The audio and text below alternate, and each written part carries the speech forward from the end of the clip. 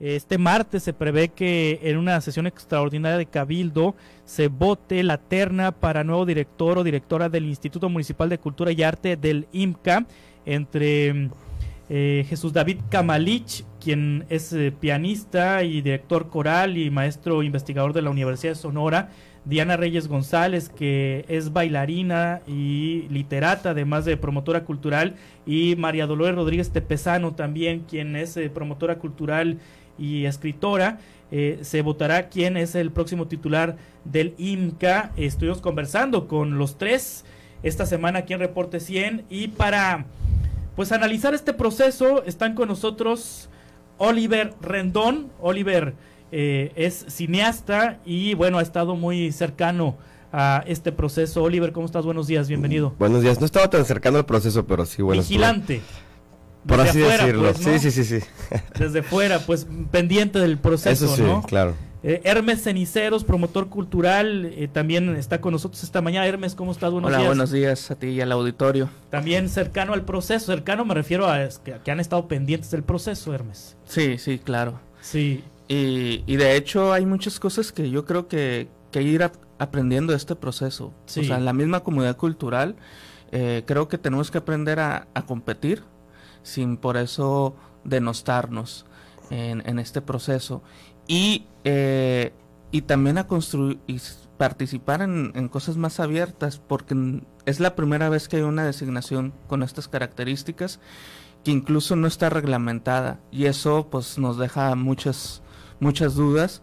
Y creo que una de las cosas que a lo que tenemos que ir es a ir pidiendo que se reglamente la designación del titular del IMCA o la titular del. ¿Les parece si hablamos de los aspirantes? Este, vamos eh, primero a escuchar lo que aquí nos dijo un pequeño resumen eh, Jesús David Kamalich. Estuvo con nosotros el miércoles pasado aquí en este espacio. Escuchemos y ojalá nos puedan subir el volumen de la, de la bocina para que nuestros invitados escuchen.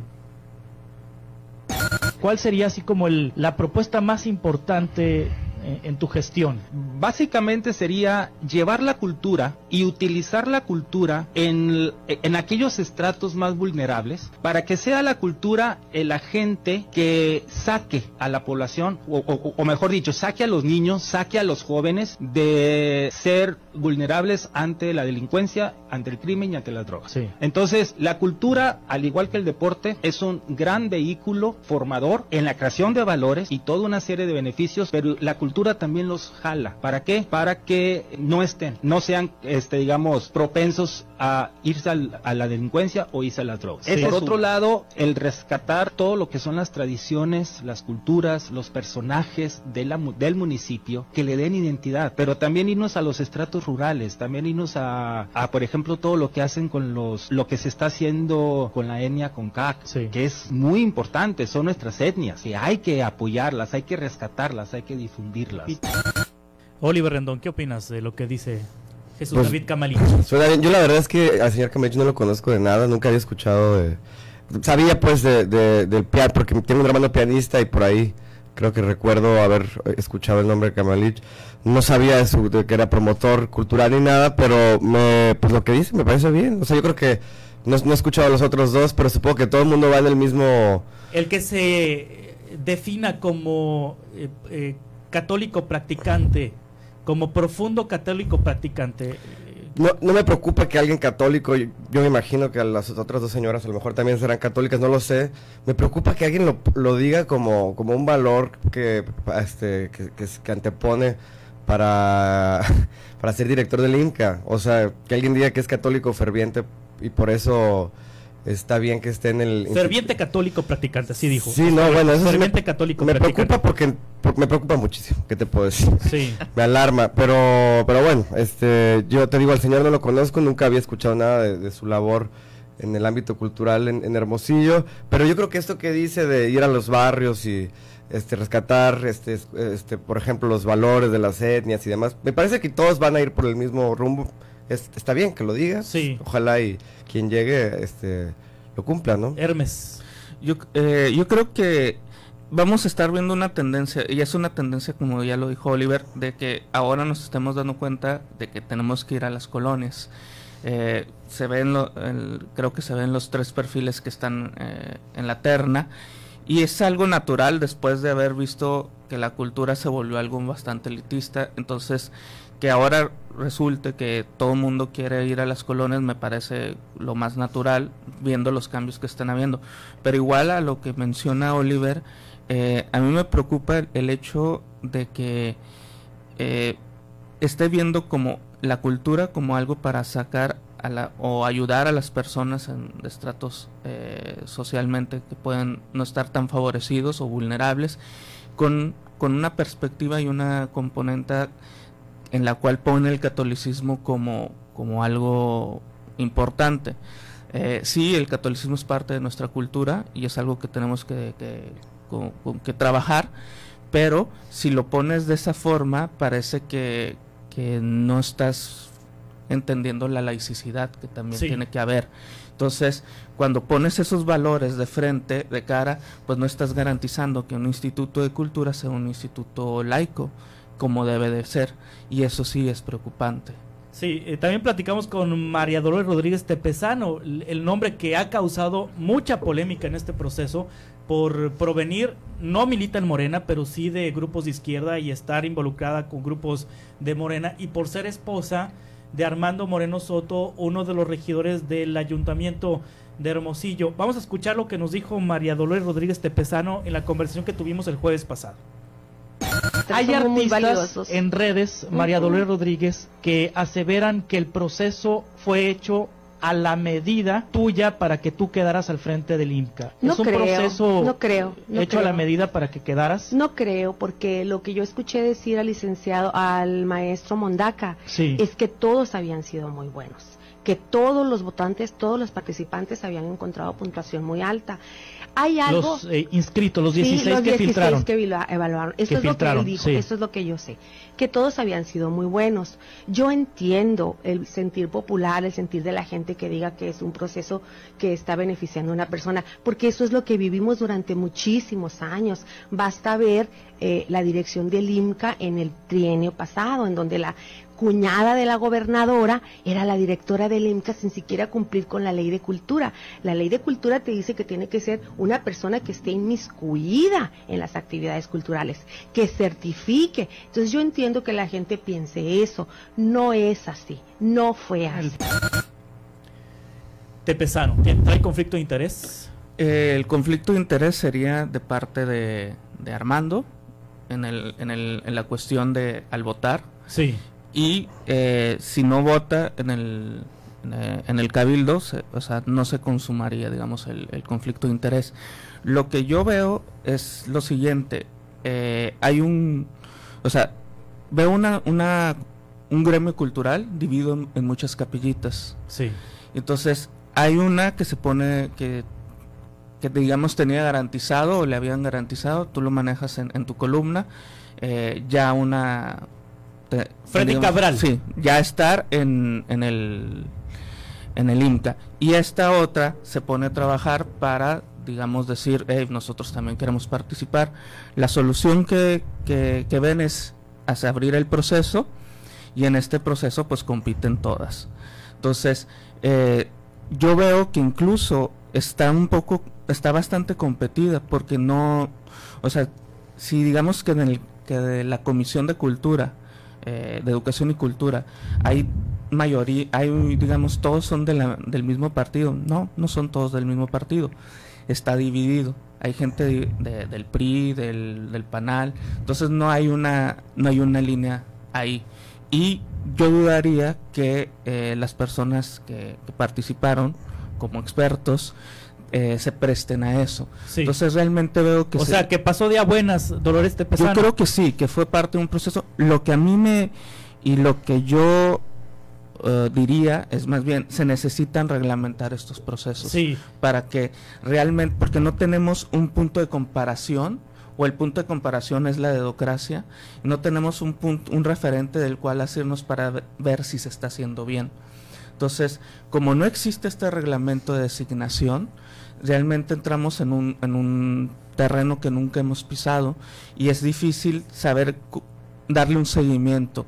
Yo allí lo que creo que deberíamos estar haciendo, pasando este proceso, es exigir que se haga un, un reglamento o que se tenga un, un proceso, se, se, reglamente un proceso de designación del titular del IMCA. Oliver, ¿no? tú, tú apoyabas originalmente a Freddy Cabral. Formaste parte de un grupo de artistas que promovió la figura de Freddy Cabral para que fuera director del Instituto de Cultura, independientemente de quién ganara la presidencia municipal. Así es. Y este eh, Célida López se comprometió a nombrar a Freddy Cabral después de que este grupo de artistas este pues eh, le hizo la propuesta eh, eso no eso no lo sé ese dato de que Célida López se comprometió a nombrarlo sé que hubo encuentros con Célida con Freddy y con la gente con muchos de los artistas que apoyaban a la candidatura digo la, la dirección del IMCA con Freddy yo no sé que Celia se haya comprometido a darle el, la sino que estaba muy contenta, le dijo, me, gusta la manera que en la que piensas, me gusta el proyecto que traen, se hizo se elaboró un proyecto eh, conformado con esta gente. Pero bueno, finalmente él no queda en la terna. No, no, y yo creo que y yo creo que ese es un ese es un punto importante porque hubo muchas voces que dijeron, "No, es que Freddy Cabral ya ya lo este las influencias y no sé qué." No quedó. O sea, cuáles influencias y cuál, cuál era ahí el... No quedó, no quedó y bueno, qué, bueno que hubo un proceso. Me parece que está bien, como dice Hermes, que haya un, que se empiece a democratizar la manera de escoger. Este, luego puede ser un lío también, porque quién, quién opina, quién opina, dónde está, o sea, dónde quedó la bolita, pues puede ser un poco complicado. Sí está bien que se consulte. Este, lo de, yo no conozco a la señora Tepesano, este, en algún momento eh, Hermes y yo nos peleábamos por Facebook. y no sabe leer, pues, de todas maneras. No, sabe, no le encanta. este, y yo le decía, bueno, es que yo realmente este, a, Rodríguez Tepesano, pues es una persona que estando yo tan involucrado en muchos eventos culturales, nunca es el que yo nunca he visto presente, pues ni en los desiertos para la danza, ni en el, cine del desierto que estoy yo, ni en las muestras de teatro, pero no importa eso, o sea, entiendo que, que hay una voluntad por, por hacer las cosas bien, por que hay un proyecto este muy coherente, me parece perfecto. Esto eh, de, de, los conflictos de intereses me parece que empieza desde el momento en que, siendo su marido regidor, antes de que se convocara ningún proceso, pues estaban ellos ya reuniéndose con el cabildo, ¿no? Había, había un acceso directo, le presentaron su proyecto al cabildo, este, había una comunicación directa con la gente que iba a conformar el cabildo desde, desde antes de que se convocaran a nada. Y pues eh, eh, Carrasco, la señora Carrasco. Mari Carrasco. es, era una de sus principales promotores y ahora es una de las organizadoras del, de este proceso. Yo no quiero decir que, esto sea una trampa, la verdad es que creo, conozco a Hermes, sé que, es gente que no anda con ese rollo, pues, no, no, trae las intenciones de transar. Sin embargo, pues claro, queda raro. Queda, raro, queda, queda extraño que la gente que la promovía desde antes sea la misma gente que organiza el proceso y que, y que su marido, aunque no vote, aunque no vote en el cabildo, pues está ahí, está ahí en el cabildo, está, es la, con la gente con la que trabaja, con la que, la que se influye, o sea, entonces este, yo quisiera pensar que no, yo repito, no la conozco, nunca antes de este proceso había escuchado ni siquiera su nombre, este, pero he leído cosas de las que, de las propuestas que traen y conozco a Hermes de, tiempo. Sé que es gente que quiere hacer las cosas bien. Confío en que así será. Este, supongo que ganará. ¿O supones que va a ganar ella? Pues yo creo, creo que sí, ¿no? O sea, yo creo que sí. Este, es, es lo triste es, y no quiero decir que estén haciendo trampa, es que quede raro. Que quede raro como no, pues no, fue trampa, pero los que la promovían justamente son los que organizan el proceso, bla, bla, bla, y pues esperemos que no, que, que yo conozco a, los cinco artistas que convocaron para el proceso, sé que es gente profesional, que trabaja, que, que quiere que la cultura crezca y confío muchísimo en que la decisión fue bien tomada. A mí me parece raro también un poco, o sea, deberíamos de conocer los 16 perfiles, porque yo a este señor Kamalich... Las matrices. ¿Por qué? O sea, ¿de, dónde? ¿Cuándo? O sea, conozco muchos otros gestores que estuvieron en la Tierra, no solamente Freddy Cabral, que, merecían mucho la pena. Y yo no sé, señor Kamalich, qué ha hecho realmente. Muy bien. A Diana Reyes sí, sí la conozco y sé su trabajo y todo mundo que trabajamos en esto sabe quién Platicamos de Diana Reyes ahorita al volver, si les parece. Hermes Ceniceros con nosotros, Oliver Rendón, analizando el proceso de elección de próximo titular de Cultura en el Ayuntamiento de Hermosillo. Oliver Rendón, sobre el proceso de elección de próximo titular del Instituto Municipal de Cultura y Arte. ¿Querías decir algo sobre Tepesano? Eh, bueno, sí, yo estaba eh, ahorita en, en, cuando estaban los anuncios, estábamos comentando que algo que, que yo veo es que vivimos en una en la, comunidad cultural viven capillitas y entonces a veces en un ámbito no, no conocemos a las personas de otro ámbito. Eh, María Dolores tiene tiempo eh, pues, con mujeres en su tinta y moviéndose con, con personas que han trabajado la cultura de manera más comunitaria. Ese yo creo que es uno de sus fuertes. Entonces, perfectamente puedo entender que lo desconozcan en otros ámbitos porque se ha dedicado a, otra parte. Y es que tenemos que empezar, y yo creo que tenemos que empezar a reconocer nuestra comunidad cultural, eh, en vez de descalificarnos y desconocernos, empezar a reconocer los trabajos que hacemos en distintas áreas, porque no es nada más una. Entonces, eh, en ese sentido, es que creo que el perfil de Tepesano por estas circunstancias puede ser bastante interesante y no necesariamente es el perfil que, que se ha construido dentro de las instituciones culturales, como puede ser el de Diana Reyes, que me parece un buen perfil que, ha que se ha construido dentro de las instituciones culturales, pero también de las mismas instituciones culturales que yo ya no que ya no me satisfacen y que, donde me gustaría ver cambios profundos. Sí, vamos a escuchar a Diana Reyes, precisamente el viernes platicamos con ella, es una de las integrantes también de esta terna.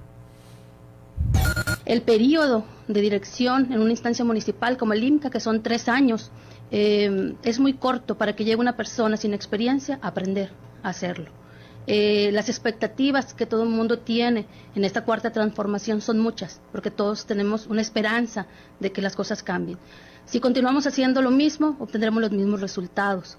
Yo te puedo decir que mm, tengo 28 años trabajando en la cultura y no solamente desde la institución, desde la parte de la creación como ejecutante, desde la institución, también desde la gestión cultural independiente, desde la empresa, o sea, soy representante legal de una AC, de una mm, SASB. Sí. Eh, en ese campo puedo comprender la dimensión total y creo, y por eso es que estoy participando.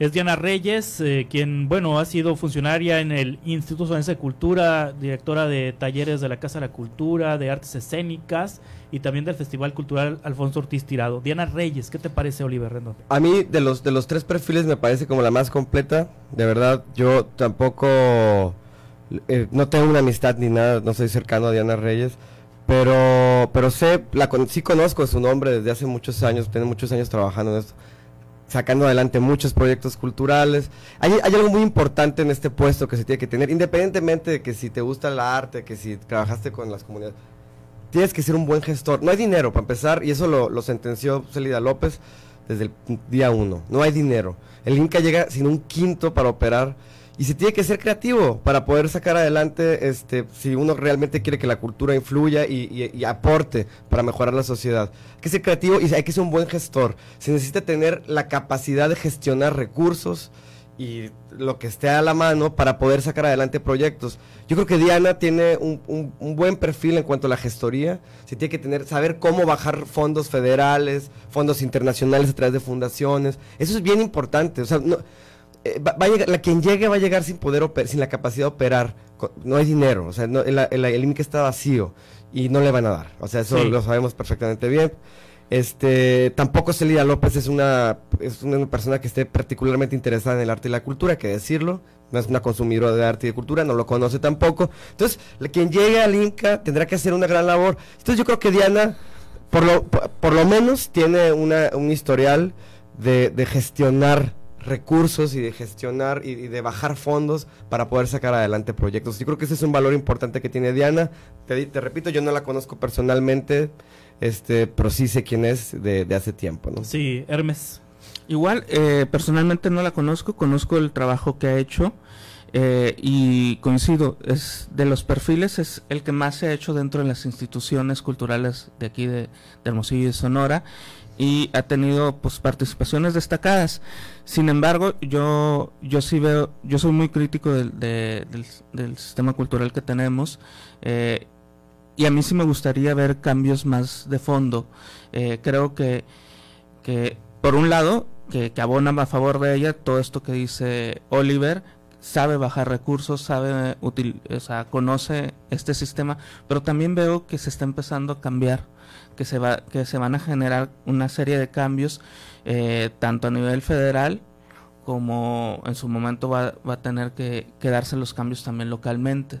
Entonces, en este cambio de reglas que se van a estar dando, eh, no sé qué tanto eh, esto juegue también a su favor. Eh, a mí me gustaría ver realmente un cambio en el enfoque, sí sabiendo que no hay recursos, pero eso no, no, implica que, que, otra persona con otra que venga de otro tipo de formación o de una formación o de un trabajo más comunitario no tenga la creatividad también para desde otra perspectiva eh, obtener recursos eh, que no nada más son económicos, también son de capital humano. Sí, eh, pues mañana es este proceso, eh, mañana se prevé, bueno, no, tenemos la confirmación de que sea mañana, pero no se pero la semana pasada se, se, se, informó, se comentó que sería mañana martes la sesión extraordinaria de Cabildo donde se someterían a votación de los regidores y de los integrantes del ayuntamiento eh, la elección del próximo titular del IMCA. Eh, me quedo con una conclusión tuya, Hermes, de que se reglamenten futuros procesos para elegir director de cultura, es decir, que estos procesos se repitan en lo sucesivo. También me quedo con tu idea, Oliver Rendón, de que se transparente el proceso lo suficiente para disipar dudas de que el proceso está cuchareado o que está dedicado a, Tepesano, Rodríguez Tepesano, y decías tú, pues, las matrices que se revelen. No, es claro, porque lo que decía yo es, los amigos que la promovieron son los amigos que, organizaron este proceso, y ahí es donde queda rara la cosa. Ahora, algo muy importante, quien queda en el IMCA, hay una figura que ya existe dentro del IMCA, que es un consejo, que debería trabajar para tomar las decisiones y hace mucho que se anuló ese consejo, pero ahí está, o sea, en, tú ves los estatutos del INCA, existe un consejo ciudadano que debería estar presente en todas las decisiones que se toman. Ojalá y quien llegue lo, tome en cuenta, ¿no? Sí, existe o no existe ya, o sea, no... Eh, existe la figura, eh, pero no, O sea, dentro de la reglamentación existe. O sea, hay personas ahí con nombres y apellidos. No, no, no, o sea, existe la figura Ah, pero no existe, no está integrado. está creado, exactamente. Es un órgano de consulta, es un órgano de, para tomar decisiones. Que en otros, en otros tiempos sí fue utilizado, funcionó, pero en esta última administración no, o sea, lo, borraron.